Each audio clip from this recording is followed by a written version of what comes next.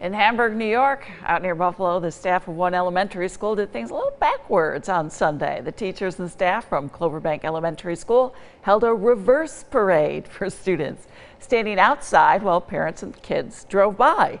Teachers calling it a good way to have FaceTime with the kids and just show them how much they miss them.